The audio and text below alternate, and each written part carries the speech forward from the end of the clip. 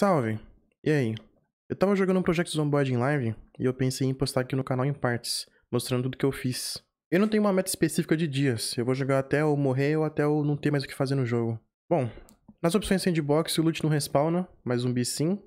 Água e energia vão demorar um pouco mais que o normal para desligar. E os zumbis são a mistura dos normais e dos que correm.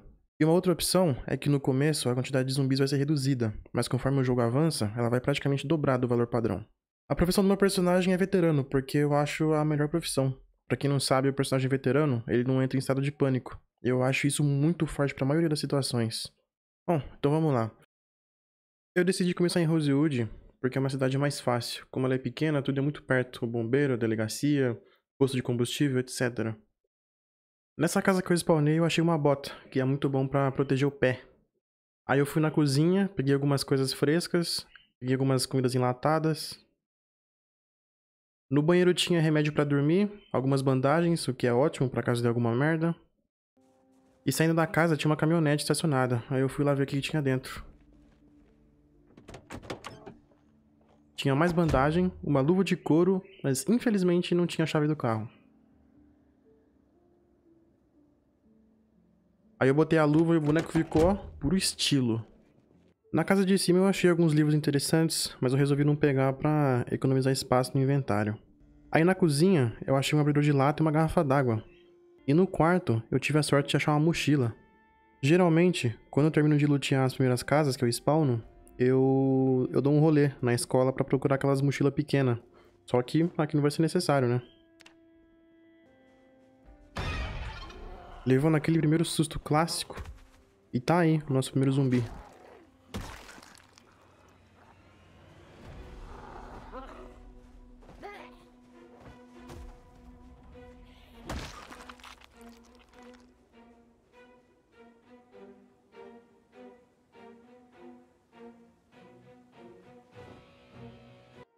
Eu finalmente achei algo útil para usar como arma. E na cozinha tinha uma panela com arroz e um bife que eu já mandei para dentro.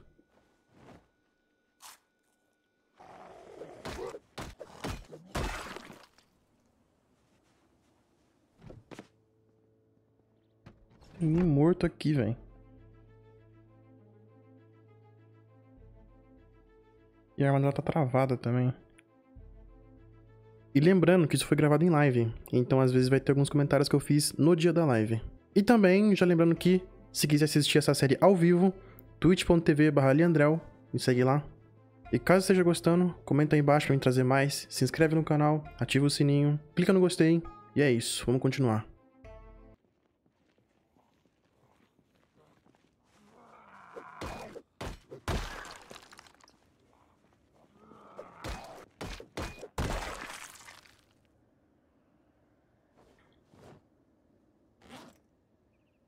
Como a escola ali do lado, eu decidi dar uma volta lá.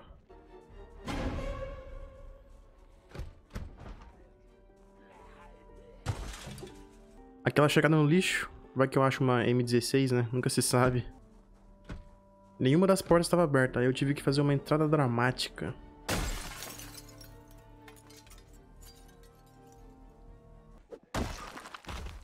Mano, só agora eu percebi que ali na esquerda tinha várias estantes com livro e eu não fui lá ver.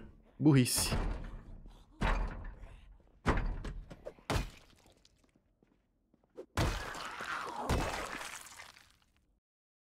Eu fui checando todos os armários que eu via pela frente para ver se eu achava alguma coisa de útil.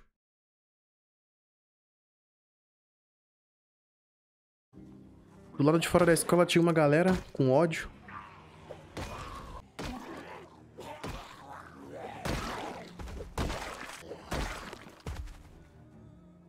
Eu me livrei dele e Eita, que carrão. Nossa, esse carro tem chave aqui dentro, velho. Tá sem motor. Ai, que azar. O motor tá, tá pifado. É, velho.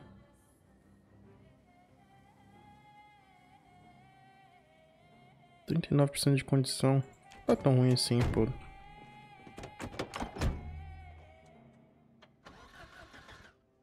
Ah, tá sem gasolina também.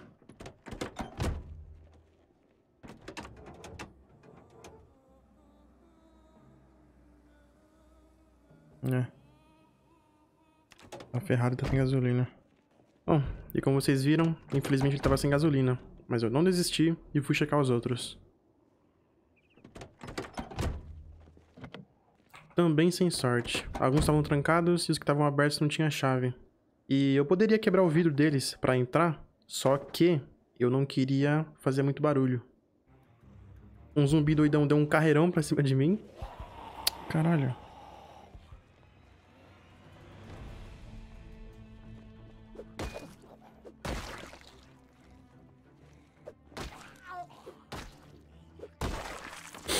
Toma cuidado com esses zumbis que correm, vem. Ô, se tem, Liam. Tinha umas casinhas ali embaixo e quando tava escurecendo eu fui lá pra tentar passar a noite.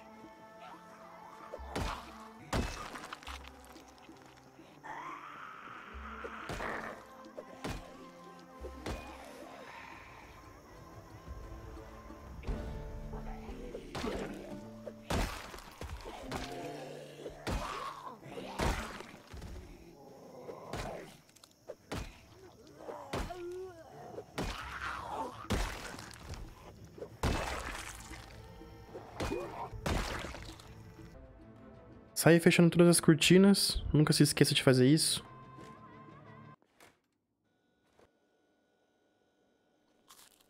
Nham, nham, nham, nham, nham. E como tava passando programas educacionais, eu decidi sentar pra ler e descansar um pouco. Quando eu percebi, já eram três da manhã e eu fui deitar.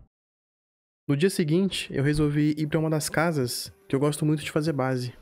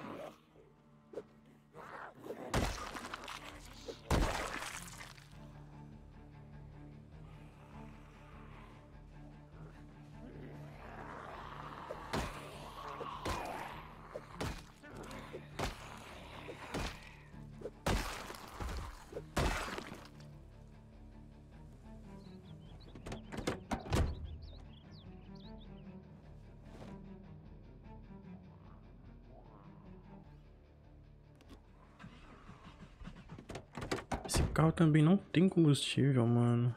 Desgraça.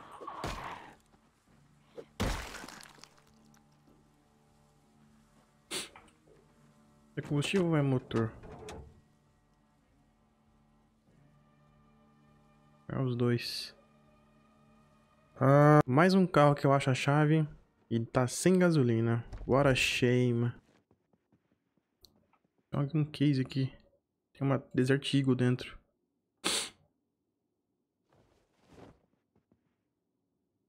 Da hora. Eu fui andando em volta da casa pra despejar qualquer inquilino que esteja residindo nela.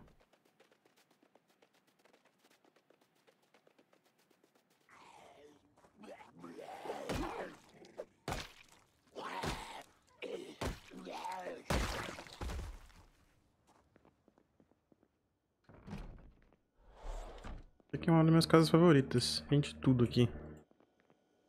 Tem... Tem uma garagem. Tem um, um quartinho. Tem um banheiro aqui. Um bagulho pra guardar... Coisas. Aqui tem um quarto. Aqui tem outro banheiro. Aqui embaixo tem mais um quarto. E aqui tem uma lavanderia. Dá pra lavar a roupa aqui. Que falar que ela é bem espaçosa. Bastante espaço aqui dentro e aqui fora também. Ah, e tem isso aqui, ó. Tem uma, uma cabaninha também. guardar mais treco.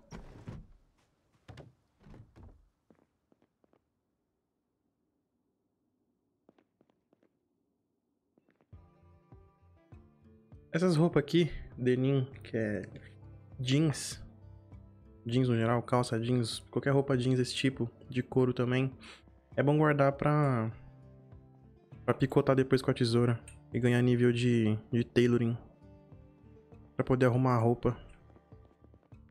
Aí eu fui organizando a casa, guardando os itens que eu consegui e é isso pra primeira parte. Nesse vídeo eu tentei fazer algo diferente. É a primeira vez que eu faço um voice over, que é pegar uma gameplay que já tá gravada e falar por cima dela. Eu fiz um script, uma parte eu li, outra parte eu improvisei.